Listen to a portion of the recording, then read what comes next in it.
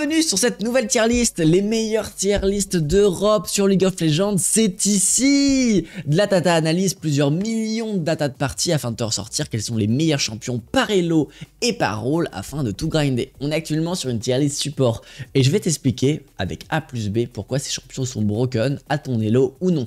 Donc on est parti, bronze into challenger, tu prends bien sûr des pics que qui sont dédiés à ton elo et on va voir qu'est-ce qui est trash tier, qu'est-ce qui est broken, à toi de voir où est ton champion. Donc, tout d'abord, on a les champions qui vont être trash tier et ça va être assez similaire sur tous les élos. On a H qui va être un champion un peu trop skilled concrètement, d'accord? Ça va être beaucoup joué en pro, ça va être pareil pour Wei, ça va être pareil pour Pike et ça va être pareil pour Bard. Ce que je vais mettre en jaune, ça va être les champions beaucoup trop skilled, d'accord? Donc c'est des champions qui sont over skills par rapport à l'élo et c'est pour ça que ces champions sont présents. D'accord? À l'inverse, tu as des champions qui vont être plutôt mauvais sur leur rôle. D'accord? Tu as par exemple Karma qui est plutôt un mid laner, tu as par exemple Panthéon qui n'est pas fait pour être joué support, et tu as Swain aussi. D'accord? Et le dernier champion, on pourrait le mettre aussi dans le skill, ça va être concrètement notre magnifique Senna. Les supports à cet elo en bronze n'ont pas le niveau dédié en ADC, ils ne savent mal kite, mal frapper, le champion est donc éclaté. A contrario que d'autres champions à scaling vont être bien meilleurs parce que tu n'auras pas ces mécaniques qui vont être bah, pas des mécaniques de support. Ensuite, on a à peu près les mêmes champions qui vont ressortir, mais qu'est-ce qu'on va avoir? On va être Brand qui va être considéré comme trash tier en silver parce que en fait, il va avoir énormément de ban rate parce qu'il est beaucoup trop joué en jungler, d'accord? Et que le seul moment où il va être pick, c'est dans des mauvaises drafts, dans des mauvaises situations.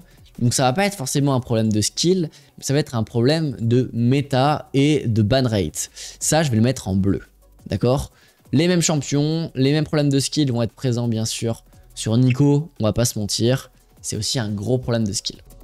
On arrive en gold, exactement la même problématique, les mêmes champions, on a déjà fait le tour. Et vous avez vu que là les champions pour l'instant ils tournent un peu. C'est parce que dans League of Legends, il y a une méta, et tout ça, ça vous l'explique. On retourne en platine, concrètement là on a spawn de deux trois nouveaux champions.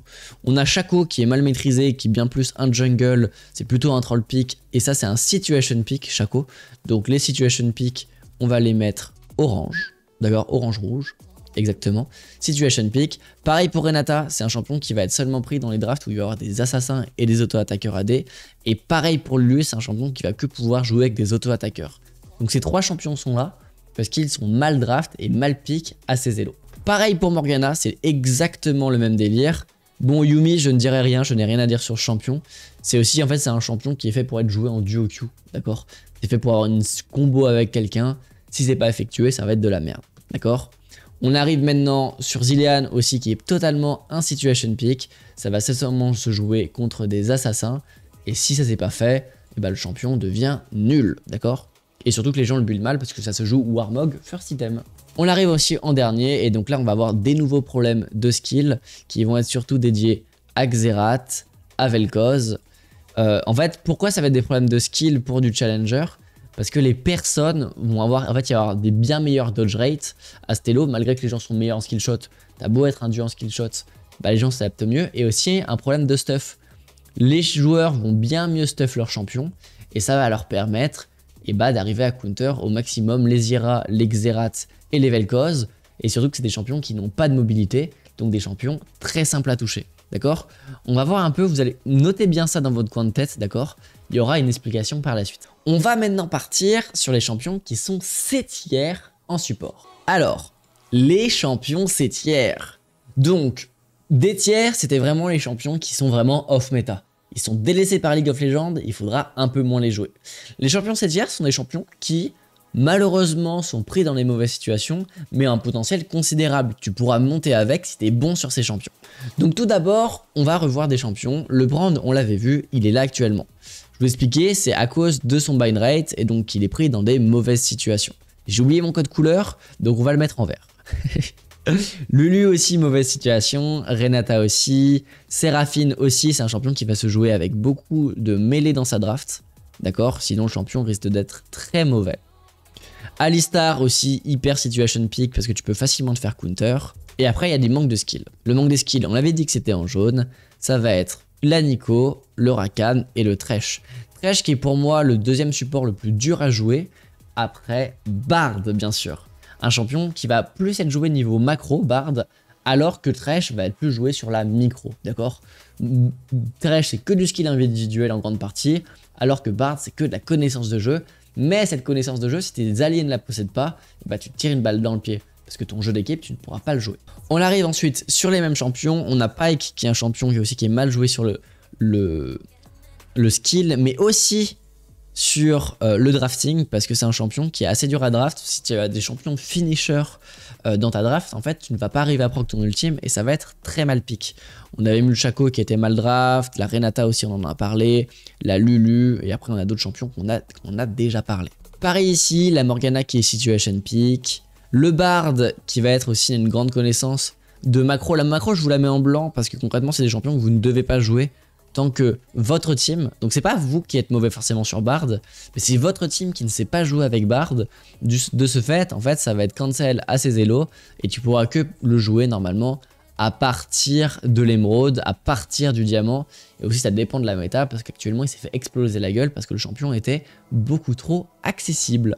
On voit une luxe Lux, pourquoi elle est là? Parce que t'arrives, et c'est quelque chose que vous allez comprendre, petit à petit, vous allez voir des champions qui sont un peu plus AP, qui vont à partir, qui vont monter en low elo et baisser en high elo. Vous vous souvenez, on a vu Challenger des tiers des champions poke. Alors que pour l'instant, on ne les voit pas du tout sur les classes plus basses. C'est parce que concrètement, quand tu vas être en dessous, on va dire, du platine, et bah dans League of Legends, tu auras une nécessité d'infliger beaucoup de dégâts, tu vas être en manque de damage, alors que si tu vas être euh, en challenger, bah, les gens ont un potentiel de damage beaucoup plus élevé du fait qu'ils ont un meilleur farming et aussi parce qu'ils savent mieux toucher leur sort, mais les potentiels d'HP vont être les mêmes. Donc tu vas plus avoir cette nécessité de dégâts, donc des champions à engage ou à pile vont être des bien meilleurs champions. On arrive pareil, on a bien sûr le Xerath qui vient de spawn, on avait mis la Lux, on avait mis le Xerath qui commence à spawn, vous allez voir il y a de plus en plus de champions AP qui vont spawn, on a encore la Lux, on a encore le Xerath, et maintenant, on va finir avec des champions qui vont être pas les mêmes. Ça, c'est un peu spécifique, c'est parce que là, vous avez vu, il y a énormément d'enchanteurs, mais c'est des situation picks. Milio qui va seulement être joué contre euh, DCC et avec des champions qui vont profiter de son passif, d'accord? On a Renata qui va être joué contre des assassins AD, on a Senna qui a un mauvais pick en challenger parce que la durée des moyennes des parties, elle va être de 25 minutes et tu n'auras pas le temps de stacker avec ton champion. On a Soraka qui va facilement se faire counter parce que c'est un champion qui n'a pas beaucoup d'escape et donc elle va tout le temps se faire focus, ce qui va créer une loose condition parce que c'est comme si un champion n'existait pas. Et à côté, on a Zilean qui va que pouvoir se jouer contre des assassins et pareil Thresh qui va être normalement joué contre concrètement un Jarvan ou un Zac et c'est les seules situations sont prises. Donc le situation pick va vraiment avoir un impact considérable en challenger. On va maintenant passer sur le bêtière des champions où vous pouvez totalement monter avec. Les champions sont même un peu plus au-dessus de la méta. Donc n'hésite pas à les spammer. Si tu trouves un champion de cœur dedans, c'est ton moment de tout progresser. Allons-y. Donc, en bronze, quels sont les champions je te conseille? On commence à voir beaucoup d'AP. On a de la Lux, on a du Vel'Koz, on a un peu plus de Morgana, mais c'est des champions qui vont commencer à briller, d'accord? La deuxième chose qui va vraiment arriver à briller, c'est des champions qui vont avoir la capacité de caler des spells qui sont hyper punitifs. Le dash de Tamkench, le grab de Nautilus, le grab euh, de Blitzcrank. On a une dernière petite particularité, ça va être Zilean, parce que les gens vont avoir tendance à continuer à DPS, la personne où tu as mis ton ultime. De ce fait, il y a beaucoup de kits de sort ennemis qui vont être annihilés et qui vont être supprimés. D'accord? Ensuite, on voit toujours ce genre de champion. On, on va reconnaître en orange les champions ACC qui vont avoir beaucoup de possibilités. D'accord? Et ensuite, on aura une deuxième catégorie qui va être des champions AP. Et là, c'est cette méta qui va commencer à énormément ressortir et progresser quand vous êtes à ces élos-là. Ça va être la même chose en gold, ça va être un peu moins la même chose en platine, mais en émeraude, ça va commencer à changer. D'accord? On a un spawn de Alistar, on a un spawn de Maokai, on a un spawn de Rakan. Et là, il faut arriver à comprendre quelque chose. Maokai, Rakan et Seraphine, et même un peu Zilean, sont des champions qui ne sont pas mono playstyle. En fait, dans League of Legends, vous pouvez diviser euh, le rôle de support en trois catégories. Les champions du style Nautilus, les champions du style Xerath, et les champions du style Peeling, du style par exemple Nami. D'accord? Et la particularité, c'est que Maokai est un mélange de Xerath et de Nautilus, Rakan est un mélange de Nami et de Nautilus, et Seraphine est un mélange de Xerath et de Nami. Et c'est ces champions qui vont avoir une plus grande adaptativité, c'est pour ça que ces champions montent de plus en plus en elo, parce que c'est des champions qui vont pouvoir se permettre de créer beaucoup de jeux. On commence à rétrécir un peu cette tier list, et on va avoir bah, des champions comme Million qui étaient plus faibles en elo précédent, mais qui commencent à monter, et des champions qui vont pouvoir permettre de répondre à certaines drafts qui commencent à être assez broken. Un Brom bien pique, vous avez bien vu, c'est ban énormément en pro, et suite au up de Nami qu'elle a pu recevoir et le build avec Eliade Milio, il commence à être très puissant. Ça va être bien sûr aussi quelque chose de très similaire en Challenger, avec Nami, avec Jana qui détruit le ladder, et Bard qui était considéré comme trash tier, commence à être B voire A tier, puisqu'il est très proche du A tier, à cet elo là. Pourquoi il est considéré que comme B? Parce que moi, mes je l'ai fait sur de la data analyse avec plusieurs millions de data de game. Qu'est-ce qui se passe? Bah, Il se passe que Bard s'est fait un peu exploser la gueule sur beaucoup de patchs. Il n'y a pas beaucoup de joueurs de Bard. Et souvent, ils n'arrivent pas à énormément monter, à part certains rares OTP, mais vous n'êtes pas ces OTP qui ont un niveau de jeu considérable challenger sur les pics, donc c'est pour ça que le champion va plutôt être average dans le bêtier. On va essayer maintenant de voir la crème, la crème de la crème. Les champions qui vont vous permettre hmm, d'abuser un peu de cette méta, on va dire. Les champions qui commencent à briller sur ces élos. Ça, c'est des champions, si vous avez un champion de cœur à l'intérieur, spammez-les, ça va être gratuit pour vous si vous correspondez à l'élo de ces pics. On a ici, tout d'abord, tes bronzes. Si tu as des projectile champ en face de toi, tu vas jouer Brome, tu vas être pixel perfect. Tu as des champions à engage en face avec des dash, prends Jana. Tu aimes bien jouer l'engage, joue Leona. Par contre, si tu aimes bien le peeling, fais un choix entre Milio, Nami, Soraka. Ou si tu aimes bien le poke, et bah spam Xerath ou Zira. Ça être quasiment le même délire avec les autres rôles. Et en fait, ça va vous permettre d'arriver à comprendre qu'il y a trois grandes catégories en support comprends celle qui te correspond le plus et essaye de trouver un champion qui te plairait dans cette liste de 4 ou 5 champions. Et ça va vraiment te permettre de progresser et de grind dans League of Legends. Vous avez vu après c'est très similaire, on a les mêmes champions qui ressortent, sauf à plus haut où là on a des champions un peu différents. Chaco qui était trash tier commence à apparaître parce qu'il est pique seulement dans les bonnes situations, parce que les gens sont un peu moins cons. Nico est pique pour faire de la création de jeu parce qu'il commence à avoir beaucoup plus de regroup et donc le champion commence à avoir de la value. Et ensuite, et eh bah, Pike qui demandait un certain niveau de skill monte encore plus haut.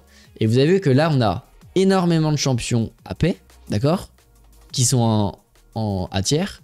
Alors que là, on a que de l'engage en challenger. Les champions en engage sont vraiment broken à cet elo et on vous les conseille totalement. Bon, on a un peu survolé le tiers parce que concrètement, bah, les champions broken, c'est dû à la méta en grande partie, sauf quand vous montez à des hauts très haut, en diamant, en challenger, ou autrement que vous êtes très bas où il y a un peu des champions un peu différents. Là, le but, ça va être de voir le S tier. Peut-être le truc que tout le monde attend, le truc que tu as regardé la vidéo là et maintenant tu le veux, d'accord? Donc on va te les montrer. On va espérer que ton champion est dedans. Si tu ne l'as pas encore vu, on espère qu'il est dedans. S'il est pas dedans, c'est possiblement que ton champion il est pas du tout assez joué dans League of Legends et que bon ma data analyse, mon scripting derrière, mon bac plus 5 en informatique, il m'a fait dire que ton champion, concrètement, tu te le gardes, d'accord? Et là, je vais tout vous balancer, je vais tous vous les mettre d'un coup. D'accord? Vous êtes prêts? Les voici. Voici les champions qui sont considérés comme Omega Broken aux différents élos dans League of Legends grâce à de la data analyse, etc. Et là, on voit un truc de dingue. Alors, moi aussi, j'ai été étonné, d'accord? Mais je vous explique pourquoi Poppy est là. Je vous l'explique concrètement pourquoi Poppy est là. D'accord? C'est parce que le champion a pile poil eu le pick rate pour que je le considère comme jouable. D'accord? Il a pile eu le truc. Donc, j'aurais dit, ouais, mais dites, putain, ça se trouve, il y a des OTP, ils ont, faussé le win rate. Mais les OTP, ils l'auraient plutôt faussé bah, sur une plage d'élo données. Pas à tous les élos. Ça fait comprendre quelque chose. Poppy est actuellement un excellent support pour faire des dommages, pour faire du DPS et pour tanker dans League of Legends. En fait, c'est comme si tu jouais Jana, sauf que t'es tanky et t'as tes dégâts. Donc ça c'est beau. D'accord? Donc qu'est-ce qu'on se rend compte? On se rend compte que bah, la méta est très similaire à tous les élos niveau Broken Champ. Vous avez la Sona, vous avez le Taric, vous avez la Poppy. D'accord? Si t'as un champion qui te plaît là-dedans, spam-les, c'est Elo Inflated, les champions sont très mal équilibrés, tu vas pouvoir progresser facilement dans League of Legends. D'accord? On a la petite situation, ok, où tu as le petit Bard qui vient de spawn. Après, voilà. Tu te mets bien avec Bard. T'as le petit spawn de la petite Jana qui spawn, d'accord? C'est parce que avec Echo Delia, tu peux faire des dingues. Mais donc ça veut dire que moi je te dirais que t'as 5 champions. Opis, t'aimes bien l'engage. Tarix, t'aimes bien l'engage et le pile. Sona pour la sustain. Jana pour la sustain. Et si t'es un amoureux de, de Romer, mais bon, là je vais plutôt te dire, hmm, si t'es à partir de là, d'accord? Avant, tu me le prends pas, ça va être très dur pour ton équipe et ça sera pas jouable avec ton équipe si t'as pas joué avec toi. Tu peux commencer à jouer Bard à partir de l'émeraude, on te l'autorise. D'accord? Voilà. Donc c'est une tier qui est basée sur de la data analyse sur plusieurs millions de parties. J'ai essayé vraiment de te sortir les meilleurs picks du patch 14.11 afin de te définir les meilleurs champions. D'accord? Ce qu'il faut savoir, c'est que peut-être on va en faire d'autres tier lists, mais avec des petits guests, des petits feeds. Donc si tu as des idées sur d'autres tier lists, sur d'autres rôles qui pourraient t'intéresser afin de te définir ces meilleures choses, eh ben, n'hésite pas. N'hésite pas à nous rejoindre sur Twitch, n'hésite pas à mettre ton meilleur commentaire si tu trouves que le positionnement de ton champion est totalement frauduleux. D'accord? Et en tout cas, moi c'est Exit, je vous là-dessus. Ciao ciao